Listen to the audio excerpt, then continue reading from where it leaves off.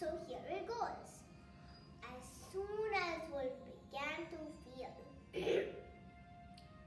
that he would like a decent meal, he went and knocked on Grandma's door.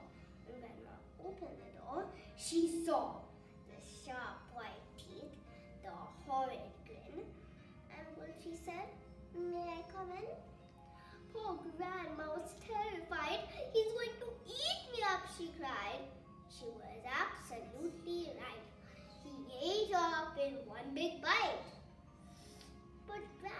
was small and tough, and Wolfie well, that's not enough. He ran around the kitchen uh, yelping that I've got to have a second helping.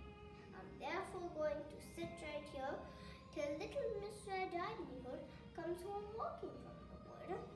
He quickly put on Grandma's clothes. Of course,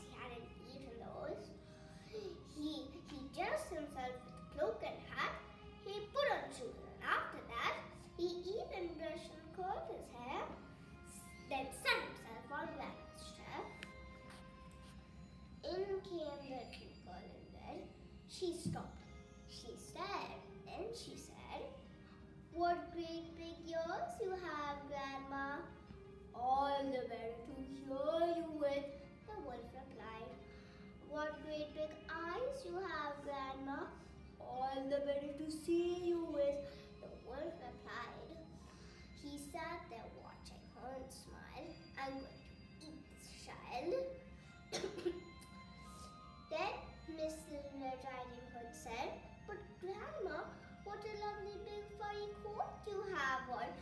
That's wrong, Wolfie wailed. Have you forgot to tell me what big teeth I've got? But, well, no matter what you say, I'm gonna eat you up anyway. The small girl smiles, one eyelid flickers. She whips up a pistol out of her knickers. She aims it at the creature's head and bang, bang, bang! She shoots him dead. A few weeks later, in the wood, I came across Miss Riding Hood, but what a change! No cloak of red, no silly